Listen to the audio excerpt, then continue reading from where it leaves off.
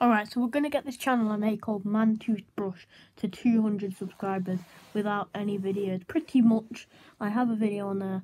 I, I can't like log into the channel on my computer to get the uh, URL for the actual channel. But if anybody can link the actual channel, put it in the comments.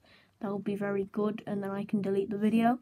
But the link is in the description for the channel and uh, if anybody can link the channel, put it on um, comments and let's get this channel to 200 subscribers with no videos.